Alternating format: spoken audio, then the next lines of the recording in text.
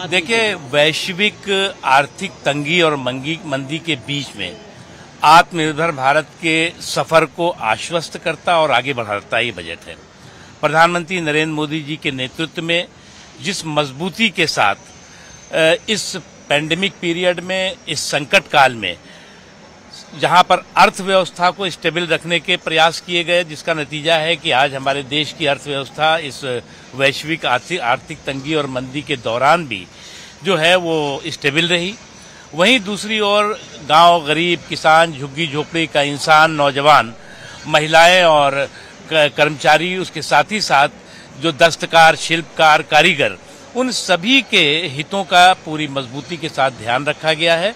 और मैं मानता हूँ कि इस पूरी दुनिया में जो इस वक्त आर्थिक तंगी और मंदी के बीच में एक विश्वास का, एक भरोसे का, एक होप का मज़बूत एहसास कराने वाला ये बजट देखिए, मैं प्रधानमंत्री मोदी जी को और निर्मला सीतारामन जी को बधाई देता हूँ, मैं देश को बधाई देता हूँ।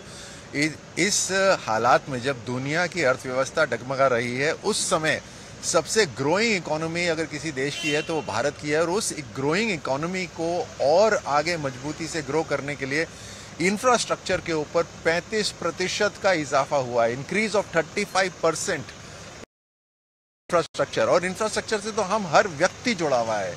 आप देखिए जो और अर्थव्यवस्था अपने आप मज़बूत होगी, हर तरफ़ खुशहाली आएगी, विकास आएगी। It is a very good budget for a common person और ग्रामीण क्षेत्र के अंदर जो गरीब है जो युवा है जो महिला है उनको मजबूती के लिए बजट है। मैं बहुत बहुत बधाई देता हूँ। दूसरी तरफ़ कहा गया है कि आत्मनिर्भर भारत को भी इसमें खास तौर पे तवज्जो दिया गया है। जी बिल्कुल। इस इस इसी समय एक एक बूस्टर शॉट जिसे मैं कह सकता हूँ वो मिला है जिससे दी मैन्युफैक्चरिंग जो है उत्पाद उत्पादन जो है वो हमारे भारत में ही होगा। हर चीज़ का प्रोडक्शन भारत में होगा।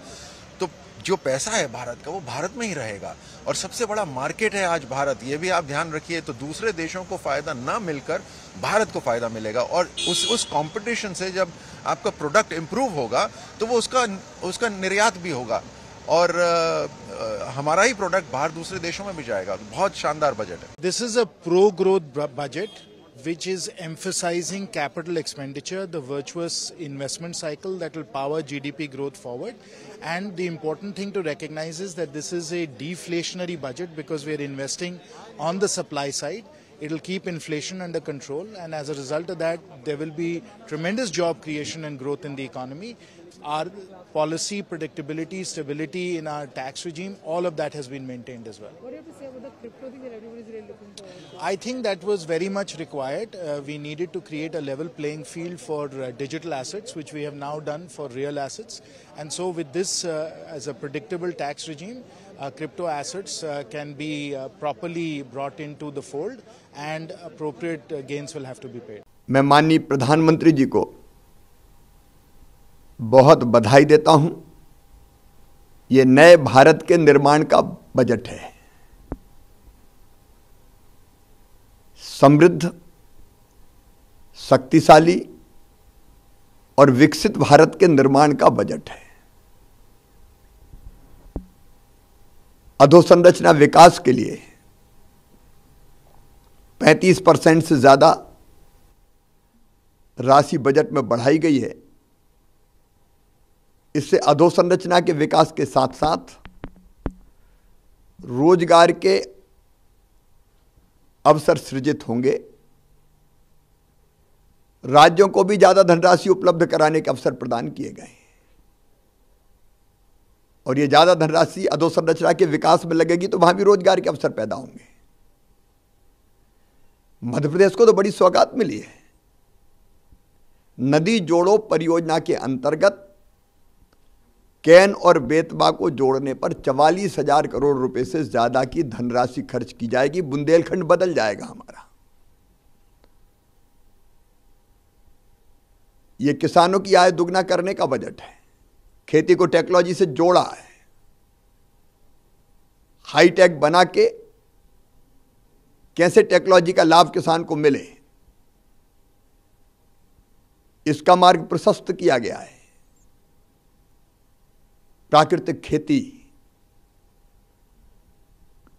लोगों के स्वास्थ्य को भी उत्तम बनाएगी और धरती का स्वास्थ्य भी उत्तम रहेगा। ये आम आदमी का बजट है जिसमें गरीब और निम्न मध्यम वर्गीय मध्यम वर्गीय परिवारों की ज़िंदगी में खुशहाली लाने का प्रयास किया गया है। इस बजट में नई शिक्षा नीति को ज़मीन पर लागू करने के लिए पर्याप्त प्रावधान किया गया है और कोविड काल के बाद देश में हेल्थ इंफ्रास्ट्रक्चर बेहतर बनाने के लिए पर्याप्त प्रावधान किया गया है। ये महिला सशक्तिकरण का, युवाओं को रोज़गार देने का, गरीब और किसान के कल्याण का और एक शक्तिशाली भारत के निर्माण का बजट है, जिसमें देश की सुरक्षा के लिए रक्षा बजट में पर्याप्त प्रावधान किया गया है। 25 परसेंट बढ़ोतरी की गई है। प्रधानमंत्री जी आज़ादी के अमृत महोत्सव के अवसर पर जिस दिशा में देश को ले जाना चाहते, ले जाना चाहते हैं उसके लिए पर्याप्त संसाधन उपलब्ध कराए गए। मैं प्रधानमंत्री जी को धन्यवाद देता हूँ, वित्त मंत्री जी को बधाई देता हूँ।